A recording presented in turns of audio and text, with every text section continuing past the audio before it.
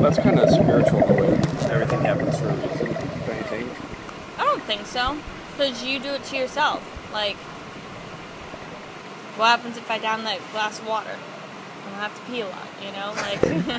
Like, everything happens for a reason, you know? It's just like, Uh-huh. if it's from you, the environment, it's like, For every action, there's an equal and opposite reaction. exactly, you know?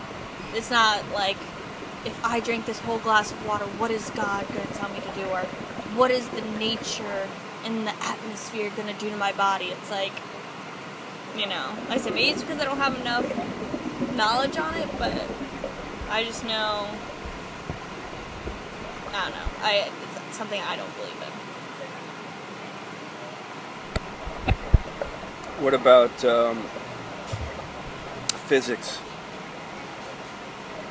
and the the concept of multiple dimensions? Um, you thought about that? it's it's one of those things when you're in a car for like eight hours to twelve hours, your mind starts to wander, and Uh-huh. you just think about everything. hmm So Have you ever seen a flying saucer?